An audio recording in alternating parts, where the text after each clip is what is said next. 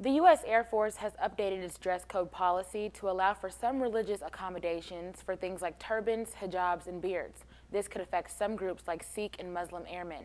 The Air Force released the update in early February. The guidelines say airmen may request a waiver to permit wear of neat and conservative religious apparel.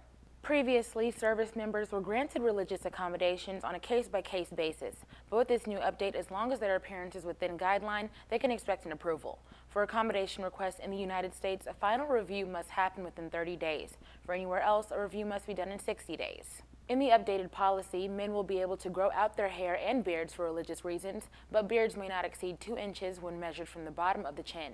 All headwear, including hijabs and turbans, must be worn in a neat and conservative manner, with material that matches the colors of an assigned uniform, including camouflage. The Sikh Coalition, which is an advocacy group for Sikh Americans, said in a statement, while we are eager for a blanket proclamation that all observant Sikh Americans can serve in every branch of the military without seeking accommodations, this policy clarification is a great step forward toward ensuring equality of opportunity and religious freedom in the Air Force.